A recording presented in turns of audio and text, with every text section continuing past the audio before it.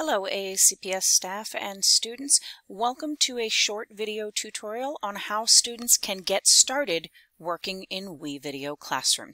So here we are on ClassLink and the first step is to locate your WeVideo icon and select to enter the WeVideo platform.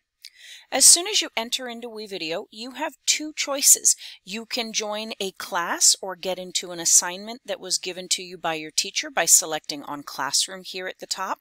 But if you're just starting your own video project for yourself, you can also click on the smaller button underneath that says Classic and get started on your own. I'm going to go ahead and select on Classroom. Any classes that you have already joined, maybe your teacher has used WeVideo Classroom in this class before, you can select on those to enter into that existing class. Or if you are joining a brand new class, you're going to want to click on Join Class down here in the bottom right, and you'll be presented with a field to enter the code given to you by your teacher to get into this class. Once you've typed in that code, you'll want to click Join. Now that I've joined my class, you'll see here a list of assignments given to me by my teacher. The first assignment, Interview a Friend, is a team assignment. This means I will be completing this assignment in a group. We'll talk more about that in a future video. The other two assignments are individual, which means I will be working independently. And when I'm ready to get started in either one of those, I would click on Jump In. If I have an assignment that is already in process, meaning I started it previously, that blue button would say continue instead of jump in. One additional area that I have access to from inside of my teacher's class is a menu option over here on the left that says projects. When you select on projects, this is another area where you can just get started creating a video project on your own. Please be aware that I can't attach this project to an assignment or associate it with a class of my teachers. So this is truly just an area for you to make your own project and it's it's not what you would want to use if your teacher gave you an assignment. For that, you're going to want to stay with classes. So if you're just creating your own video, you could have selected on Classic back on that first page, or you can select on projects from here inside of a class. But for assignments, we're going to go back to classes and back into our test classroom. And then I'm going to click the continue down here at the bottom to enter into the introduce myself individual assignment from my teacher. Now here we are in the project editing window. You'll see in the upper left hand corner we have a media area here. Any media that my teacher gave me as a part of this assignment would appear here, but I also have the ability to click to add my own media. I can pull media from WeVideo's stock, or I can upload it from my computer and even pull it from my Google Drive or OneDrive. I'm going to go ahead and grab a piece of media here from WeVideo's stock media to use as an example.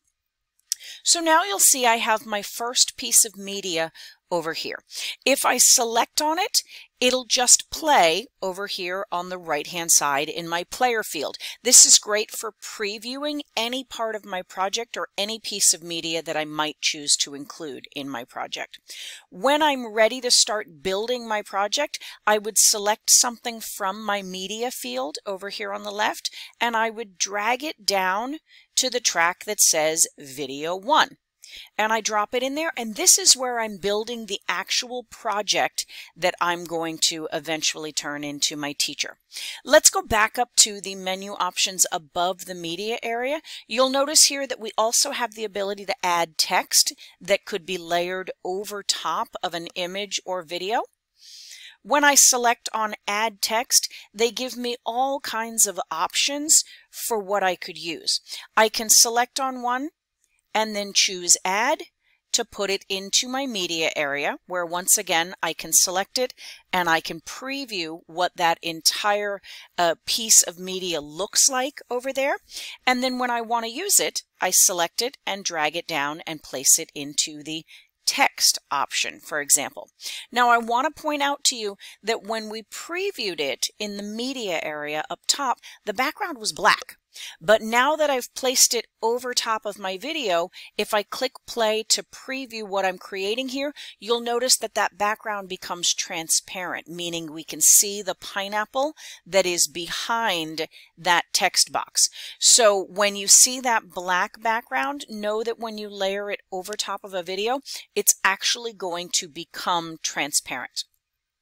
Let's turn our attention back to our media area one more time. This time I'm going to click the drop down next to record and you'll see that I have the option to record an entire video or I can just record my voice. What I'm creating so far using that uh, image of the pineapple and that text box over top of it is completely silent. There's no sound involved in anything that I'm creating at this time. So recording my voice might be a way to get some narration over top of this video.